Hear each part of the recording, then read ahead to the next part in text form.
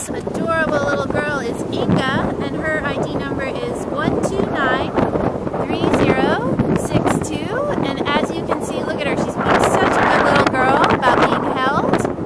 Totally sweet. Those ears go up and down. You want to put her down? We can see. Sure. She's totally adorable. She's booked in as a Chihuahua Dachshund. That's a Chiweenie. She's a mix of Chihuahua and Dachshund. Are you a Chiweenie? Hi, honey. She's so good. So sweet. There she goes. You can see the long body of the Dachshund. And, And it seems like she bonds pretty quickly. Yes, very sweet. We just met her and look at how sweet she is.